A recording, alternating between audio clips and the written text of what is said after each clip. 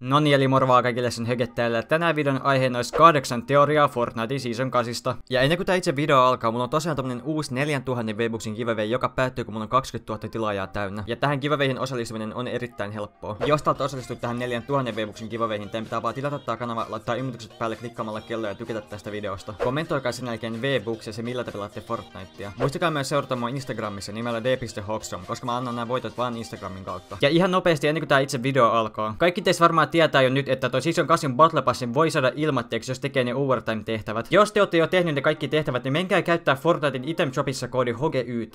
Tän koodin käyttäminen ei vie kuin pari sekuntia, se on täysin ilmaista teille, mutta tukee mua erittäin erittäin paljon. Jos sä et jostain syystä pysty tehdä niitä tehtäviä, etkä saa sitä Battle Passia, niin mä tuun pitämään torstaina Battle Pass giveawayta ainakin pari kappaletta. Se, että te käytätte mun koodi item shopissa mahdollistaa sen, että mä voin tehdä teille erittäin paljon giveawayta myös nyt ja tulevaisuudessa. Ja laittakaa nyt tälle videolle tykkäs, jos te ootatte Season 8, mutta onneksi Season 8 alkuun ei ole enää pari päivää, että kohta me päästään pelailemaan. Eli tosiaan, tämän videon aikana tuun käymään läpi erilaisia teorioita liittyen tuohon Season 8. Mä tuun siis tämän videon aikana käymään läpi erilaisia mappijulistuksia, skinejä, ominaisuuksia ja paljon muita juttuja, joita me tullaan ehkä saamaan Season 8. Vaikka nämä onkin vaan teorioita, niin mä oon aika varma, että vähintään yksi näistä asioista, joita mä tuun käymään läpi tällä videolla, tulee tapahtumaan Season 8. Jos te haluatte, te voitte laittaa tämän videon muistiin teidän puhelimeen tai jonnekin muualle ja katsoa sitten torstain, että tuliko mikään näistä toteen, kun Season 8 tulee. Ja laittakaa ihmeessä kommenttia, että mitä tulee tapahtumaan teidän mielestä sit, kun Season 8 tulee. Ja tosiaan postasin eilen illalla Season 8 ekan teaser-kuvan mun yhteisöosioon YouTubessa. Ja tossa kuvassa ei ehkä näy hirveästi yksityiskohtia, mutta siinä näkyy ainakin jonkunlainen koukku. Ja mä oon aika varma, että tää koukkutyyppi tulee olemaan jonkinlainen skinni Season 8 Battle Passissa. Ja tosiaan tää videon loppupuolella mä tuun käymään läpi sitä, mitä mä itse luulen, että toi koukku tarkoittaa. Joten kattokaa ihmeessä tää videon loppuun asti, jos haluatte nähdä mun Season 8 kapteeni koukkuteorian. Ja mä oon tosiaan taas kerran pilottanut tähän videon salaisen piparin. Ja osa teistä, jotka löytää ton piparin tästä videosta, niin pääsee pelaamaan mun kanssa vaikka Season 8 alussa. Jos joku teistä löytää pilotetun piparin tästä videosta, niin teidän pitää kommentoida alas, missä kohti te näitte sen ja mikä on teidän Fortnite-pelinimi. Mut muistakaa, että mä pelaan vaan mun aktiivisten tilaajien kanssa. Eli muistakaa tilata kanava, laittaa ilmoitukset päälle klikkaamalla kelloa ja tykätä tästä videosta, jos haluatte päästä pelaamaan mun kanssa. Mutta eikä sit laita suoraan, että Season 8 teorioiden pariin. Numero 8.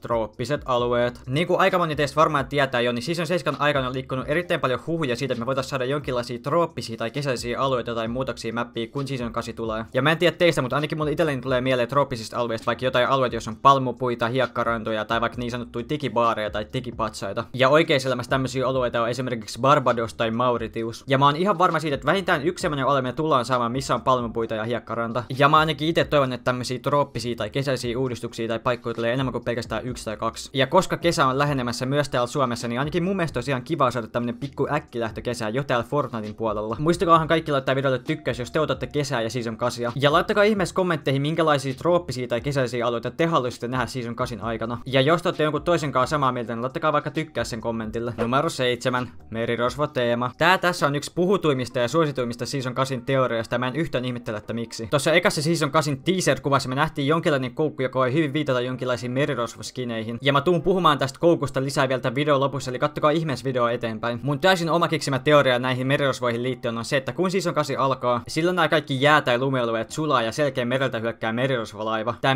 merirosvojen laiva sitten rantautuu ja tuo mukanaan täysin uuden merirosvolaiva-alueen plus ranta-alueen. Ja koska kyse on merirosvoista, niin totta kai sieltä sisältä löytyy myös chestejä. Tää merirosvolaiva voisi myös olla erittäin iso kokoinen, mikä meinaa sitä, että siellä on paljon erilaisia kulkureittejä ja piilopaikkoja. Sitä, että miksi nämä merirosvot hyökkää, niin kukaan ei tiedä, mutta jos niin tapahtuu, niin ehkä se johtuu siitä, että Fortnitein mappiin on pilotettu jonkinlainen aarre. Mitä mieltä te tästä teoriasta? Laittakaa ihmeessä kommenttia plus tykkäys tulemaan. Numero 6 uusi viidakkoalue. Tämmönen viidakko tai viidakkoalue on toinen teoria, joka on ollut puheenaiheena jo jonkin aikaa. Moni sanoo, että esimerkiksi Wailing Woodsin tilalle saattaisi tulla todella iso viidakkoalue. Ja niin kuin viidakoissa yleensä on tapana, niin tällä alueella olisi totta kai korkeita puita sekä kasveja. Myös toinen kiinnostava teoria on se, että näissä puissa voisi olla liaaneja, joilla voi matkustaa puusta puuhun. Jotkut on myös sanonut, että tuossa viidakossa voisi olla banaaneja, joita voi syödä josta saa joko helttiä tai shieldia. Mun oma teoria on se, että jonkinlainen viidakko me tullaan aika varmasti saamaan. Ja ainakin mun mielestä olisi paras, jos tämä viidakko tulisi sen Wailing Woodsin tilalle ja jos olisi semmonen todella tiheä viidakko, että siellä ei näe hirveän pitkälle. Tämmönen tiheä viidakko mahdollistaa sen, että siellä voisi tehdä erilaisia yllätyshyökkäyksiä ja se voisi myös piiloutua helposti, jos siellä on joku vaaratilanne käynnissä. Ja siellä viidakon korkeissa puissa voisi myös olla erilaisia kulkureittejä tai riippusiltoja tai vaikka kokonaisia taloja, joissa on chestiä ja muuta luuttia. Mun mielestä tämmönen viidakkoalue sopisi todella hyvin tähän mappiin ja se tekisi varmasti hyvää sille Veilinwoodsin alueelle, koska siitä tulisi erittäin suosittu taas. Mun oma mielipide on se, että paras sieltä ainakin tällä hetkellä sille viidakolle olisi totta kai se Wailing. Laittakaa ihmeessä kommentteihin, mitä mieltä te olisitte, jos tämmönen viidakkoalue tulisi tähän peliin. Ja läntäisittekö te usein sinne vai ette? Jotain uutta ja mahtavaa me tullaan ihan varmasti saamaan, mutta tällä hetkellä ei voi tehdä mitään muuta kuin ootella. Numero 5. kesä koko mapissa. Mä uskaltaisin jo väittää, että tämä teoria on miltei varmistettu. Eli mä ainakin itse on todella varma siitä, että mapista tullaan tekemään kokonaan kesäinen ja kaikki lumealueet joko sulaa tai poistuu kokonaan. Se, että mitä uusia tai vanhoja alueelliset jään ja lumen alta paljastuu, niin ei ole vielä kenelläkään tiedossa. Mutta mä veikkaan, että me tullaan ainakin joko osittain tai kokonaan saamaan takaisin vähintään Greasy Grove. Laittakaa ihmeessä videolle tykkäys, jos te haluatte saada Greasy Groven takas, kun Season 8 tulee. Ja te kaikki varmaan tiedätte, että sitä jäätä ja lunta, joka tulee sulamaan, on todella iso määrä. Joten mihin se kaikki vedeksi muuttunut jää ja lumi sit menee? Mun oma veikkaus on se, että se joko valuu takas mereen tai sitten se valuu kohti Dusty Divottia ja täyttää se vedellä. Tää vois kans samalla tehdä Dusty Divotista ensimmäisen trooppisen tai kesäisen alueen. Tää iso vesimassa voisi myös samalla tuhota vaikka esimerkiksi osan Tilted Toversista. Ja ehkä Tiltedi alettaisiin sen jälkeen joku purkamaan tai remontoimaan uudelleen. Tiltedi oli ennen mun lempipaikka ländää, mutta nykyään se on todella tylsää, ja mä haluaisin, että ne tekis jotain muutoksia siihen. Ja mä oon ihan varma, että mä en oo ainoa, joka on tätä mieltä Tilted Toversista. Laittakaa teidän mielipiteet ja ideoit tonne alas, ja jos te teette sitä pipari, niin jatkakaa kattomista. Ja olkaa todella tarkkoina, koska se tulee näkymään vaan vähän aikaa videolla. Numero 4.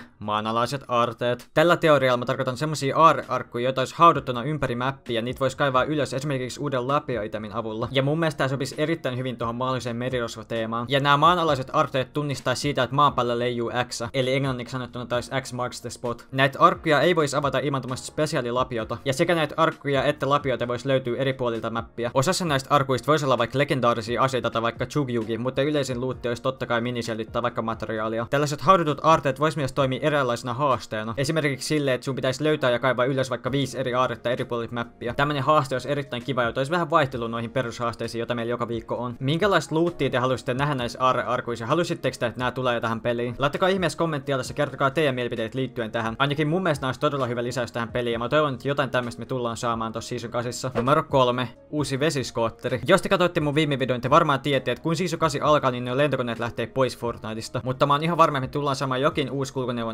lentokoneiden tilalle. Ja mun oma arvaus on se, että se tulee olemaan jonkinlainen vesiskootteri. Koska jos mappiin tulee paljon vesipainotteisia muutoksia, niin on sanomattakin selvää, että me tarvitaan jokin kulkuneuvo, jolla voi päästä paikasta A paikkaan B. Ja mieluiten just semmonen kulkuneuvo, jolla pääsee näiden vesialueiden läpi menemään. Ja mä en tiedä teistä, mutta mun mielestä paras vaihtoehto tämmöiseen vesiteitse kulkemiseen olisi totta kai vesiskootteri, koska se on sekä nopea että pieni. Ja just sen takia sen avulla voisikin nopeasti matkustaa näiden vesialueiden läpi. Ja se olisi kans parempi kuin nämä lentokoneet mun mielestä, koska sen ainoa käyttötarkoitus on se, että pääsee paikasta A paikkaan B. Kun taas näin lentokoneella pystyy sekä ampuu vihollisia että tuhota rakennuksia, joka on mun mielestä todella tyhmää. Koska mun mielestä näitä kulkuneuvoja pitäisi käyttää vaan matkustamiseen. Minkälaisia veteen liittyviä kulkuneuvoja te haluaisitte nähdä? Kertokaa mulle tuolla kommenteissa, mä luen ja vastaan niin monelle kuin mä vaan voin. Numero kaksi. Sukeltaminen plus vedenalaiset alueet. Tää tässä on mun mielestä ehkä kiinnostavin ja siistein teoria tähän mennessä. Mun oma teoria tähän liittyen on se, että nämä vesialueet olisi todella syviä ja niiden pinnan alla voisi olla sekä chestejä että erilaista luuttia. Sinne pinnan alle pystyisi totta kai myös sukeltamaan. Ja siellä olisi myös ilmakuplia, joita voi käyttää ja silloin pystyy olemaan pitemmän aikaa veden alla. Näiden Näiden vesialueiden pinnan alla voisi myös olla erilaisia kulkureittejä ja sellaisia reittejä tai piilopaikkoja. Ja näitä piilopaikkoja voisi käyttää hyödykseen, jos haluaa yllättää vihollisen, joka tulee sukeltamaan. Näihin voisi myös mennä piiloon, jos tulee paha tilanne. Näiden vesialueiden pohjassa voisi myös olla spesiaali chesti, josta saa vaikka legendaarisen aseen tai jotain muuta erittäin harvinaista. Ja jotta jokainen matsi ei päättyy siihen, että kaikki kämppii veden alla. tämä voisi toimia niin, että jos näihin vedenalaisiin paikkoihin jää kämppimään pelin lopussa, niin kuolee automaattisesti. Mun piti selventää tää teille, koska mä oon ihan varma, että joku oli laittamassa jo kommenttia tähän liittyen. Numero yksi